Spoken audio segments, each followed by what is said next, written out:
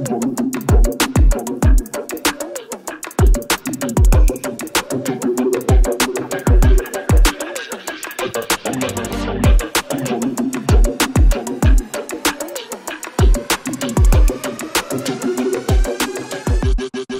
to ODT Sports. So as you can see, today we're at uh, Moana Pool. Nobody's been here in a long time, but I've just found three of the most famous swimmers in Dunedin. I've got Kane, Caitlin, and Erika. So, guys, what's been happening today? Not a lot. Apparently, you've been here since four o'clock this morning, Erika. oh, rumour has it, but no, we have been. But look, seriously, guys, it's been a um, it's been a pretty big day for Otago swimming. All three of you going to the Olympic Games. Talk me through it, Kane. Yeah, it's pretty special. Been finally named in the team. It's been unofficially official for a couple of weeks, so to have it official out everywhere, especially with these two, uh, it's pretty awesome. Are you the oldest swimmer in New Zealand now? Yeah, close to it. Feels like it. I feel like it every morning when I get out of bed as At well. four o'clock in the morning. Yeah, pretty much. Yeah, yeah. But you just broke a New Zealand record on the 200 metres. I've done some work, so uh, that must have been pretty special. Did that propel you into the into the games? Yeah, pretty much. I went under the qualifying time and went a little bit faster and broke the NZR as well, which was pretty awesome. Two birds, one stone. Outstanding work. So, Caitlin, were you surprised to make it? Uh, yeah, pretty surprised, so that was pretty cool.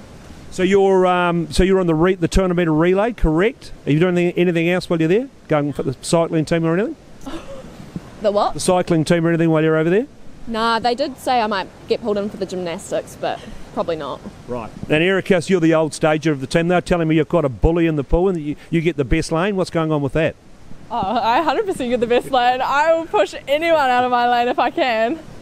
But is it a big day? I mean, from your point of view, pretty proud of Targa White. Three of you going to the, and three of the nine coming from little, you know, little funny old Dunedin. Oh, it's so special. I mean, I've grown up with a scuba and this one's coming a little bit later, but doesn't make it any less special.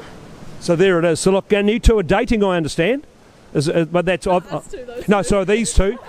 So Kane and Kate, but that's so Kane and Caitlin are date. You've been how long, you guys been going out for a while, I understand. I've been talking to your father, by the way. I've got lots of deals. Yeah, yeah.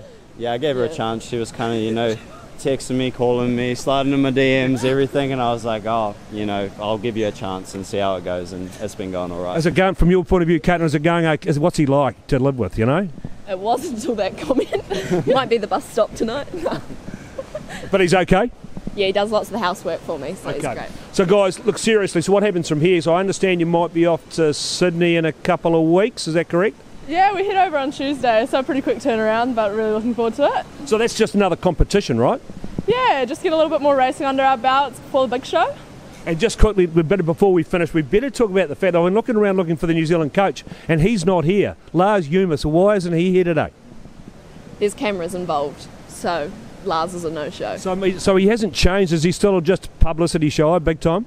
Yeah, he says he hates it, but once you get him in front of it, he knows what he's doing. So I, I don't know what, what the real truth is. Well, I'm hearing rumours he doesn't even want to go to the Olympics. He wants to watch it on TV having a space. Is that correct, Erika? Yeah, that's the first thing he told me. He thinks he'd get a better view from at home. So, I mean, he can stay if he wants, but I think the three of us would really appreciate it if, you know, he can. Right. So look, and just because I mean I've, I've known him way back a thousand years ago from rugby days, he was a pretty grumpy guy then. Has he got any better? I think grumpier. Surely, surely he's not. That's terrible. He'd be worse than Duncan Laing. I never met Duncan, but I reckon he'd give him a run for his money. So look, I, but I bet you at the same time, guys, um, Duncan will be looking down, looking down from up on high. He'll be pretty proud that we've got three Otago swimmers going to the uh, to the Olympic Games. So look, congratulations, team. Good to chat today. And hopefully next time we might even get Lars Humer on to find out what's really going on in his life. Back with you again soon.